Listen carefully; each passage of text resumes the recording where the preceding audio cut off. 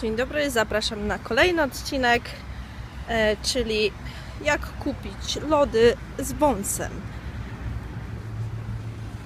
O, chyba gdzie on sprzedaje te lody? E, on nie sprzedaje już lodów. Pan ten chyba nie sprzedaje już lodów.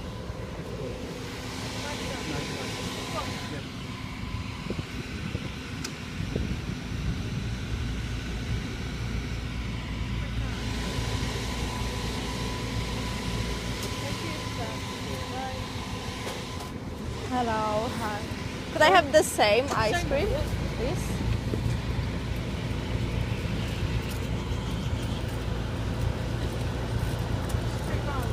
Three pounds. I hear that you have the best ice cream. Sorry? I hear that you have the best the best ice cream. Oh, mine's the best. There you go. You'll definitely be back. Absolutely. Thank you very Best much. taste in London. Can't wait. Thank you very much. Zobaczymy, czy dobrze smakuje. Otóż... No, mogę powiedzieć, że są to najlepsze lody, jakie jadłam w tym parku.